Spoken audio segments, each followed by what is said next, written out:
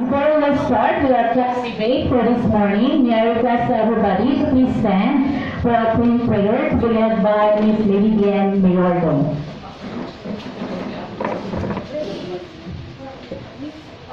Please bow down our heads and let us all remember that we are in the most holy presence of God. Stand with hands across. Our Father, our Father who art in heaven, holy be your name, your kingdom come, your will be done on earth as it is in heaven. Give us this day our daily bread and forgive us our sins, as we forgive those who against us. Do not bring us into test, but deliver us from evil. Amen. Okay, you can take your seat. Okay, good morning once again. Okay, how are you today this morning? Are you good? Are you brave? Are you brave? Okay, are you done eating your breakfast? Yes. Yes? No. Okay, there are some they skip their breakfast. Okay, so today we will have our class debate. But before we formally start our debate for this morning, okay, I will uh, I will introduce first the panel of judges. Okay, we have Miss Virginia. Itang, Mr. Rodrigo H. Picaluna,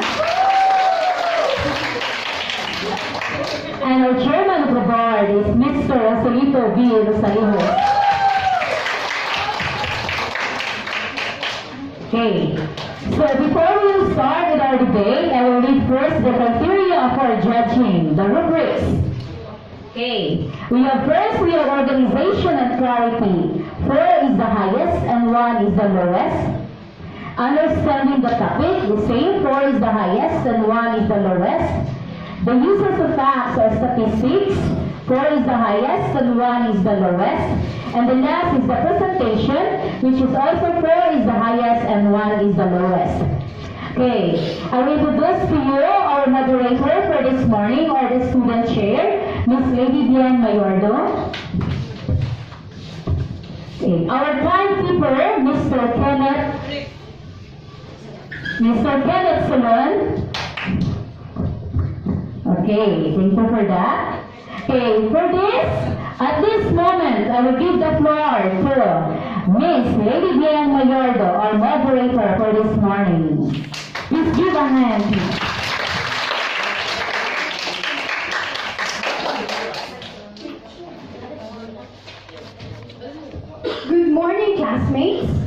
Mrs. Jean Bagood, and to our judges. Today, we are going to um, welcome to today's debate. Ladies and gentlemen, let me introduce to you the Speaker of the House in the opposition stand, Eric Ogat.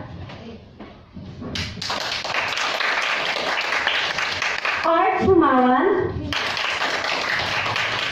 Cindy Oponda,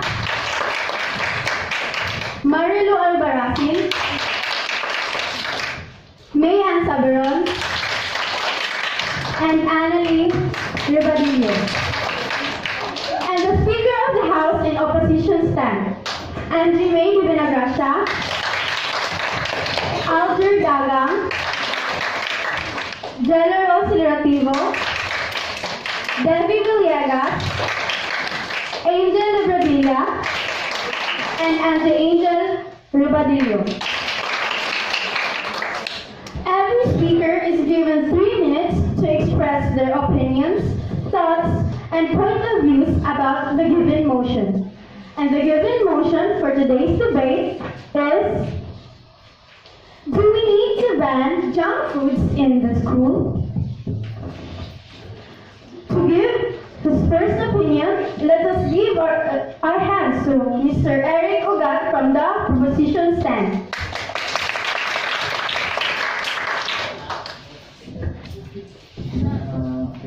Uh, for me, it is right to ban junk foods because junk food is killing you slowly. Eating junk foods at a young age is a bad habit. It leads to lifetime health consequences Statistics have shown that 60 million adults are obese or overweight. So school is where children spend most of their time. Therefore, school should be a place where children learn to eat healthy foods.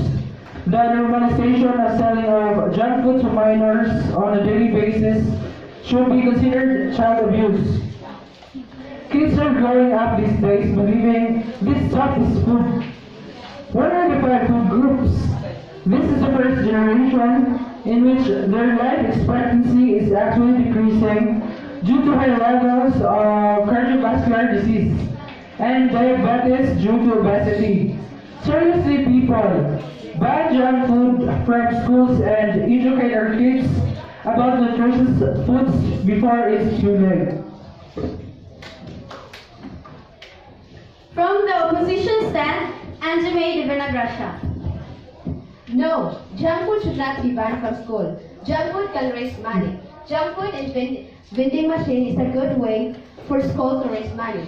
Lots of kids get junk food from a vending machine. And a food usually costs about $4.50 with $4.50 which can raise money for new furniture, school supplies, or even a class trip. You can also buy new school supplies for kids, which cannot afford pencils, rulers, glue, or even backpack, which would make life easier for the parents. By banning junk food, you're just making kids more sneaky. Because nobody going to give up junk food. I mean, what are you doing to do? Check everyone's lunch every day to make sure it's all healthy food? What would consume so much time? Why don't you just cut it down and let kids eat what they want at lunch? Now,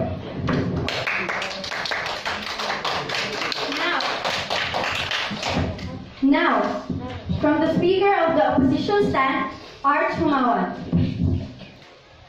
Junk should be banned. Yes, because junk is unhealthy. Junk is highly unhealthy and can transform fit, healthy human beings into obese, lazy people. Is this what we want Earth to become for the future generations? I should think not. Eating too much junk food can cause your life to be shortened. And this is terrible. This is why I believe that junk food should be banned.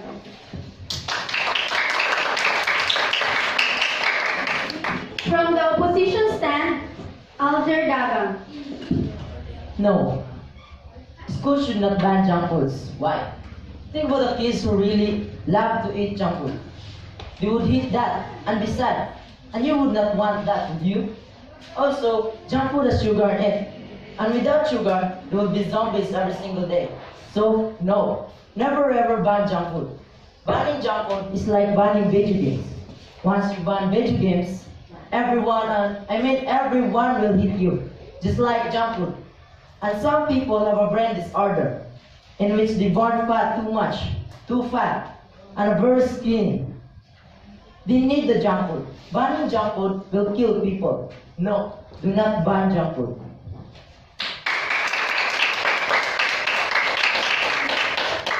The Speaker from Op- Proposition stand, Cindy Oponda. That's our problem. We already know that it's not good, but still, we continue doing it. Just like eating non-nutritious food, such, such as junk foods. I know that we Filipino are fond of eating, right? So we already know that these foods can bring infection, illness, and problem. But still, we consider eating those kind of eatables. Can you tell me why? If you have children in the future, for example, do you like that they will become malnourished, become weak, sick? Do you like that? Do you like do you like seeing them suffer? Then if you don't then if you don't want to ban junk foods now. The Speaker from Opposition stand, Jella Rose Relativo. No, junk food should not be banned from school. We have been told what to do and we should do it all, all of our lives. It should be our decision as to being obese or not. No one should allow to make that decision for us. If you are going to take junk food off of the of the school menu. At least give them the option to buy it out. Students need to learn how, how to make their own choices. One day, we will become adults and, and this is preparing for us choices we have to make when we are older. A little foods won't hurt. Speaker from Proposition Stand, Marilo Arvarasi. Students or children need to start the day healthy, rather than starting a day with junk food. Eating junk food, eating, eating lots of sugary foods makes students less able to pay attention in class performing well in exams and, and tests. Students can have mood swings and it will affect the students around the world. Junk food should be taken out of the school, school menus because they affect our body and mind in negative ways. Junk food is major cause of childhood obesity. 20, 32% of youth are overweight and nearly 74% are unfit.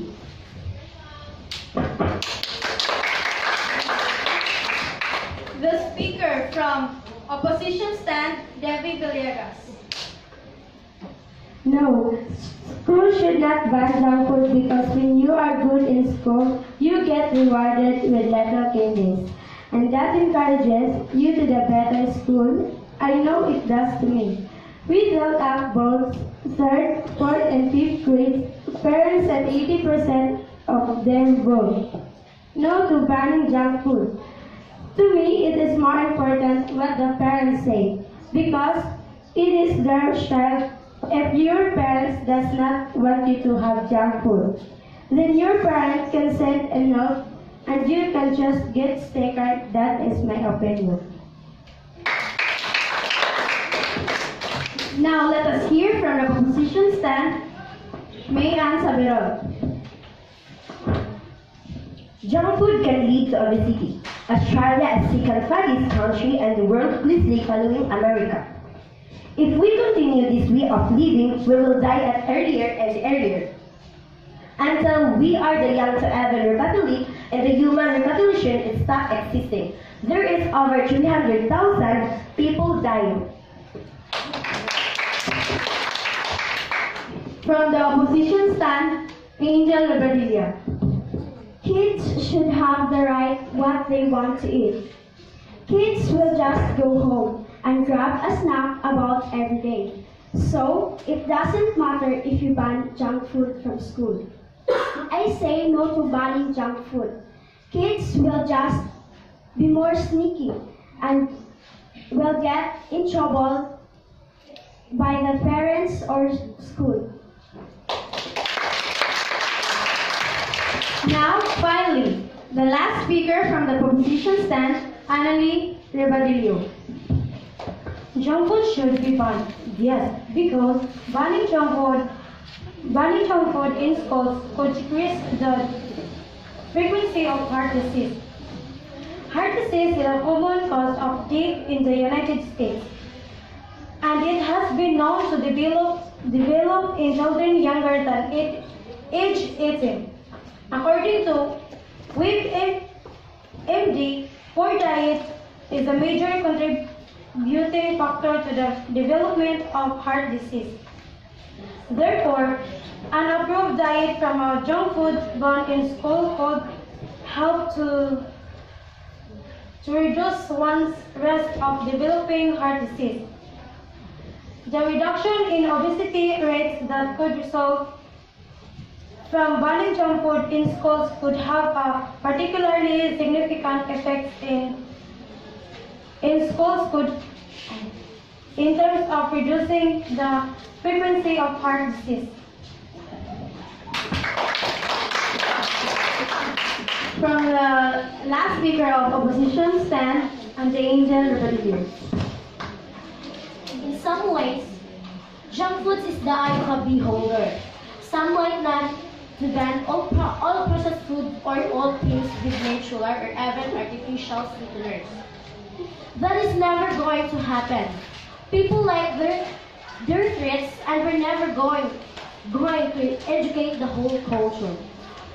Censorship just make things too underground? Human beings should be allowed to eat whatever is that they desire. Junk food should not be banned in any way, shape, or form. We enjoy certain types of food, and there's no reason that we should not be allowed to indulge in the food that we love to eat.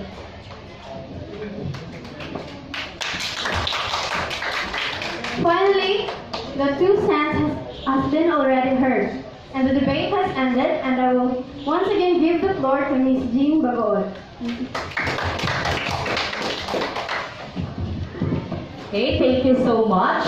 Okay, let's give a hand for the two teams, for the two parties. The proposition stand. Let's give a hand for them. And then the opposition stand. It was really a good fight for them. For at this moment, we will hear now the opinions or the ideas from our audience. Okay. Who wants to give their opinion? Okay, let's start with okay, Julian Sordilia. I am on the proposition, proposition, proposition, proposition stand. Junk food should be taken. Junk, junk food should be taken out of school lunch meals because they they affect your body and mind in negative ways. Okay. Next, Chris Caballero. I am on the opposition stand. Kids should have the right what they want to eat. Kids will just go home and grab a snack about every day. Okay, how about Mary Joy Villegas? I am on the proposition stand. Junk food is bad. It's not good to our health because health is wealth. Okay, thank you for that one. Okay, we hear, uh, we already hear the opinions and the ideas of our audience. Okay, at this moment, we would like to thank our panel of judges. Let's give a hand for them. Okay, and we will know, we will announce the winners tomorrow after the judges will consolidate it. Okay, so today, uh, I want you to get a one sheet of paper. You are going to write a reflection about our debate for this morning.